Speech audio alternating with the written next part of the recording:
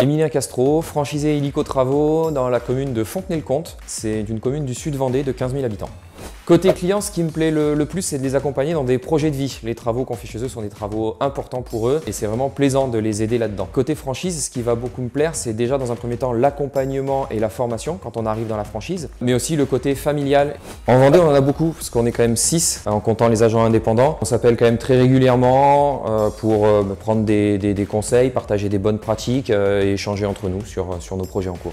La demande en travaux, elle va être très forte. Elle est déjà très forte et elle va encore s'accentuer, notamment pour tout ce qui est travaux de rénovation énergétique. Pour se développer, il va forcément falloir répondre à tous les clients et pour ça, ça va passer par euh, le recrutement d'autres agents indépendants. J'en ai un qui a commencé avec moi euh, cet été, encore à la recherche actuellement de nouveaux profils avec pour objectif d'être 4 dans les 12 prochains mois.